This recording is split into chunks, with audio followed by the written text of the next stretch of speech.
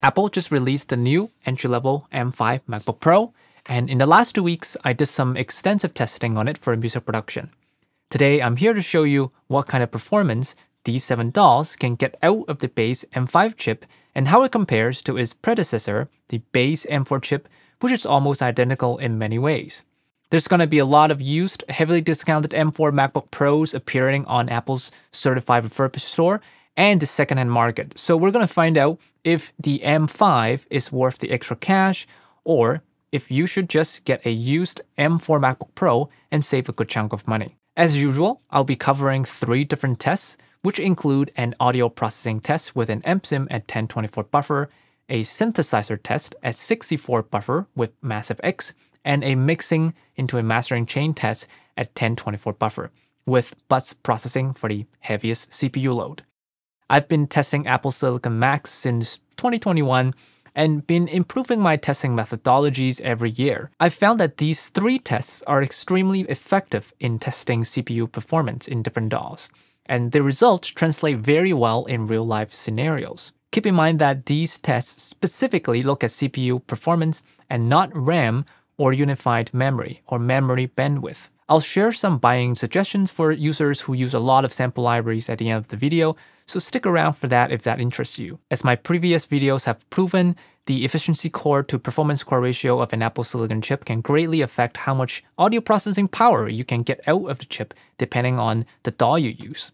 The base M5 chip is found in the newest 14-inch MacBook Pros. It's a 10-core processor with 6 efficiency cores and 4 performance cores. As the comparison, the base M4 chip also has 10 total cores and the exact same E-core to P-core ratio. In my testing, I use my base um, M4 Mac Mini there. Uh, I know it's a different form factor than the M5 MacBook Pro, so there could be some differences in terms of heat dissipation, but they both have active cooling, and I do believe that the test results will be accurate enough to draw some useful conclusions. Now, I want to be upfront about something because some people are really attached to their beloved DAW. You will be seeing the test result of all 7 DAWs next to each other in this video. This means that your favorite DAW might not perform as well as others in terms of audio processing. But keep in mind that the goal of this video is not to pit different DAWs against each other. It's not about one DAW being better than the other.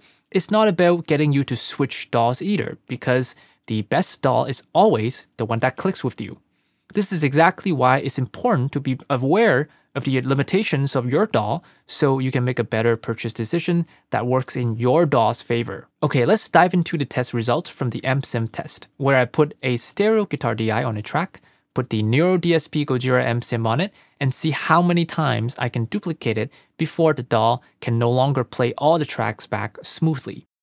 On the M5 chip, Reaper is able to play back 91 tracks each with an instant of the Neural DSP Gojira amp sim.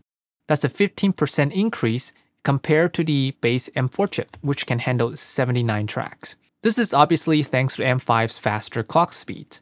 For as long as Apple Silicon Macs were first introduced back in 2021 or 2020, uh, Reaper has been able to fully utilize the efficiency cores, and this time is no different. You can see in the CPU monitor that all 10 cores are completely maxed out on the M5 chip.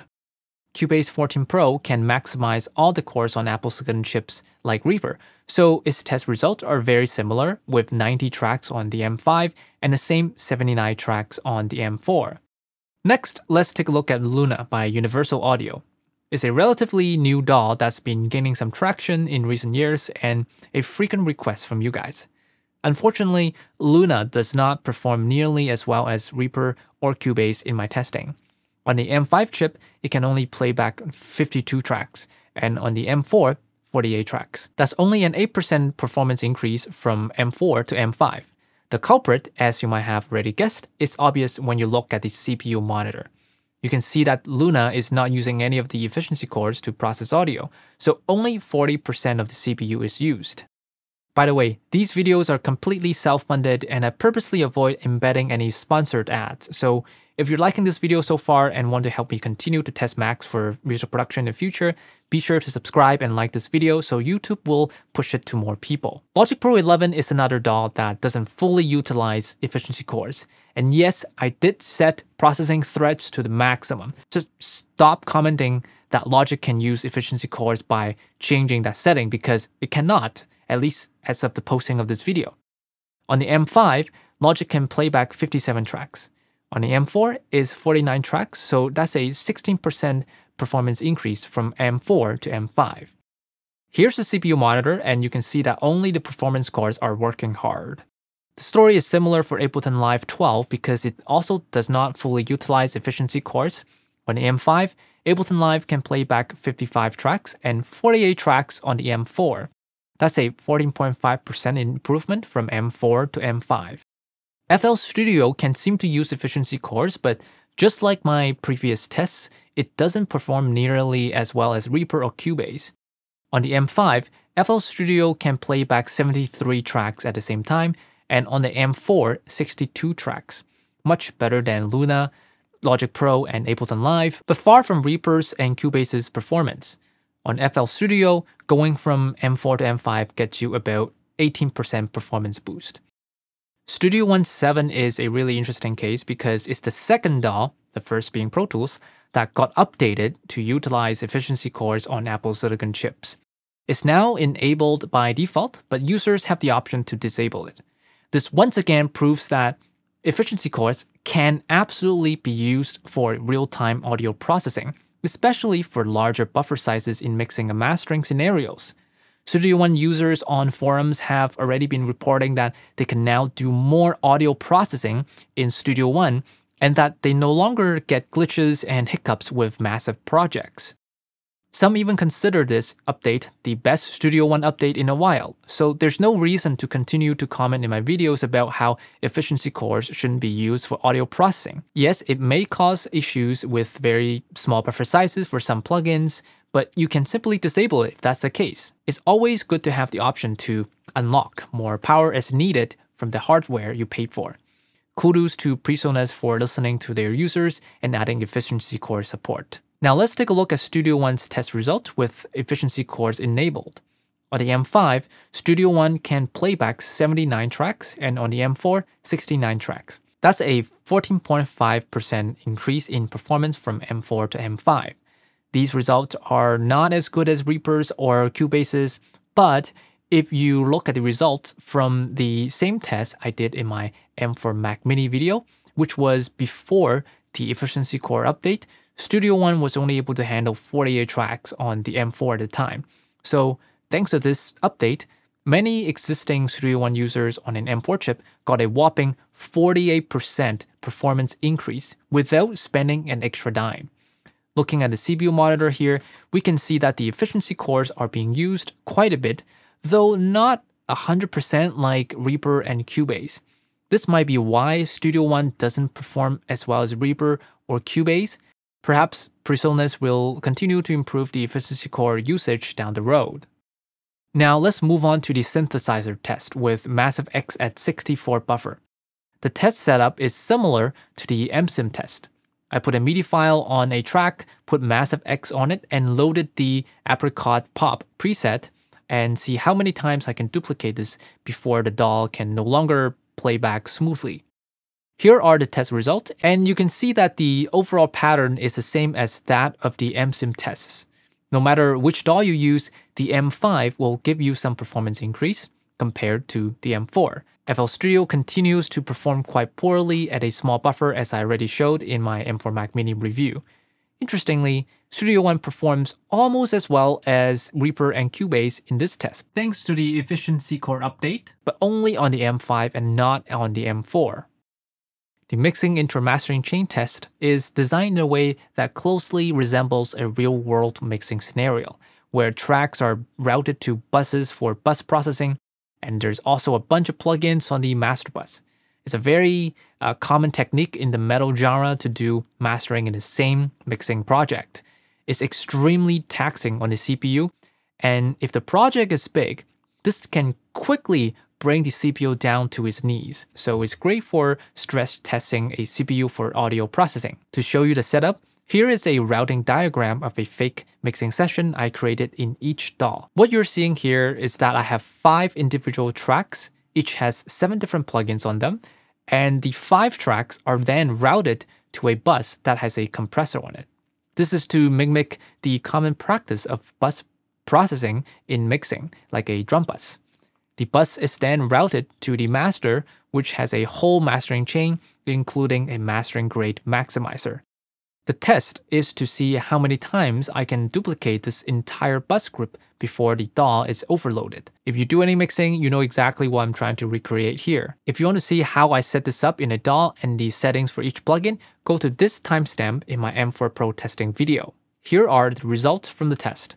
The numbers here represent the number of bus groups that the DAW can handle. So the difference of one value is actually a difference of 43 plugins and there's no in between. So the test data are very macro and they're only there to show a general trend. Once again, the story is the same. Reaper and Cubase performed the best as usual, but this time Studio One performed really well too, thanks to the efficiency core update.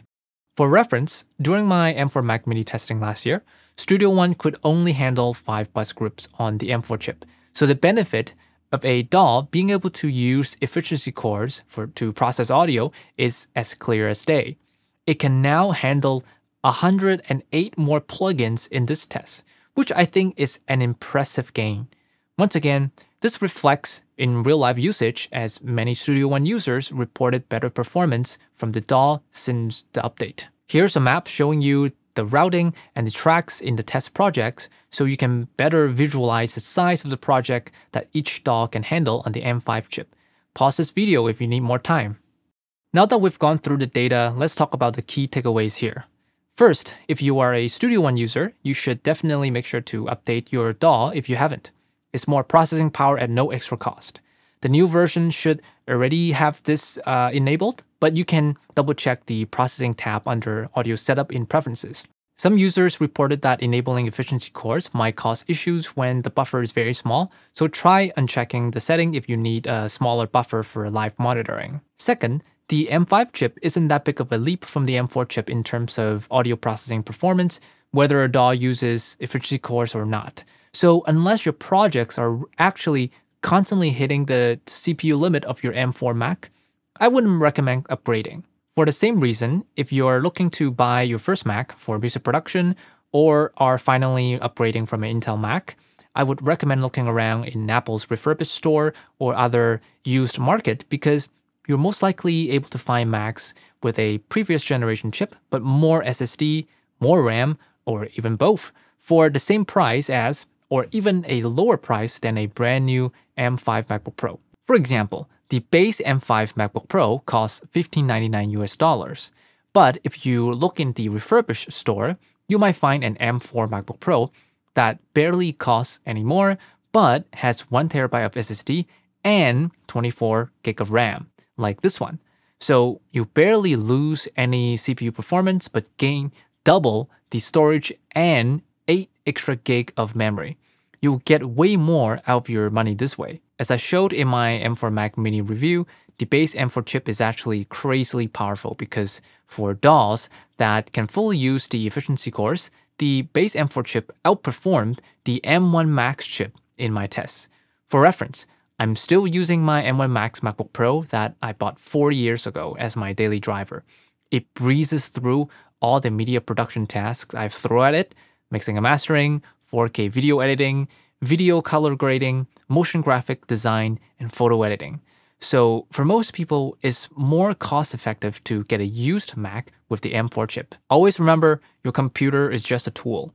There's no need to upgrade until your current computer is no longer serving your needs well. There's no need to buy the newest. Companies like Apple will always make their latest product shiny and sexy because they need high sell numbers to make their stakeholders happy. Unless you want to do that too, you should always fight the fear of missing out and try to get the most out of your hard earned money. Lastly, if your use case mostly involves using lots of sample libraries in the same project, what you need is as much RAM as possible. My recommendation is to find a used Mac from the M1 or M2 line with 64 gig or 128 gig of RAM. These will be much cheaper now because they are older, but the Max and Ultra variants of the M1 and M2 chips are insanely powerful. So you're getting the best out of both worlds for discounted prices. That's it for this video. Click the like button if you find the video helpful, and don't forget to subscribe if you like my content. Happy creating, and I'll see you next time.